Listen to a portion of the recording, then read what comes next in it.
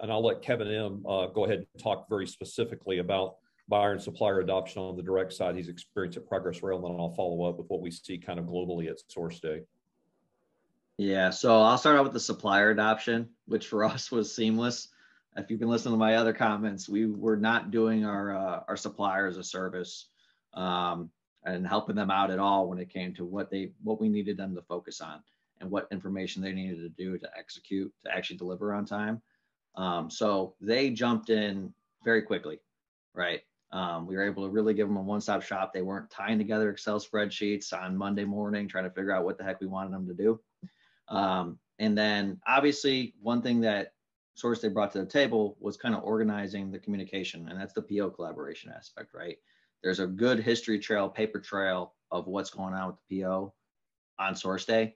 Um, and that's very beneficial to both us and the supplier, right? Able to see things as pricing changes, date changes, issues with it. Hey, I sent you that note.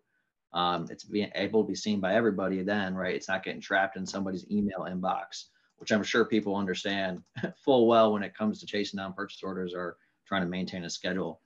So um, the other big one, like from a supplier standpoint, and this also brings it over to the planner, is just the onboarding and training is uh, very easy. The platform's easy to use, right? And that's a huge one. It's not clunky.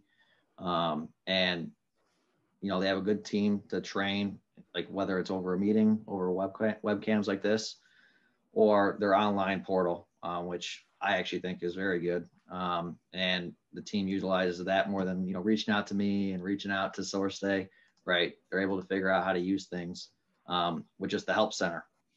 So that makes adoption easy when people actually know what they're doing in it.